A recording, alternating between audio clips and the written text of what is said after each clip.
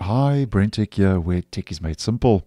So, if you are using Firefox, then just to let you know about three useful features that could be debuting with the stable channel release of Firefox 127 in a month or two's time.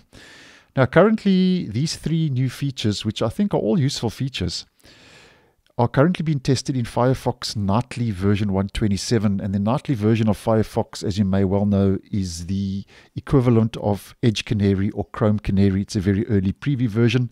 And because of that, um, some or all of these may not make it to the stable channel. So always just keep that in mind. Now, the first of three is the ability to close duplicated tabs which obviously is not available as yet in the stable version of Firefox.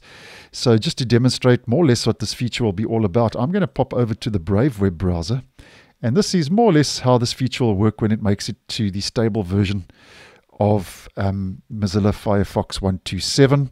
So all you do is you just right click on any of those tabs, close duplicate tabs, and there you can see I had um, four tabs open, and obviously those were duplicate tabs, the same tab. So Ability to close duplicate tabs could be rolling out in Firefox 127, which I actually think is useful. Now, moving on to the next, the second of three new features is that Firefox could have the option to be able to start with Windows. Now, currently in the stable version, if we just head to our settings, under General Startup, we only get two options available open previous windows and tabs. Always check if Firefox is your default browser.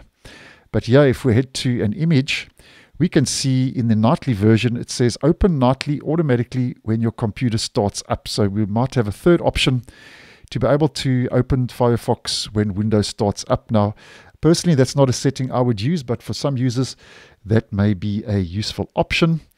And then the third and last new feature worth mentioning, which could be made available uh, in Firefox when 127 hits stable, is you will be able to translate selected text basically with a single click. And once again, head into another screenshot. So obviously you highlight this the text. Once that's selected, you right click on it and yeah, you click on uh, translate selection, as in this case to English. Obviously you will have your desired language there for translation. And then if we head to the next image, here we can see that once you click on that translate option, you'll get a translated text box and um, dialog in menu near the actual selected text. And that will also have the option to translate the full page and yes, the translation, which I think if you are, um, you know, translating a lot of foreign languages uh, in the browser, I think this would be a nice step in the right direction, as I would say. So basically, all of these three new features are being tested uh, in the nightly version of Firefox 127.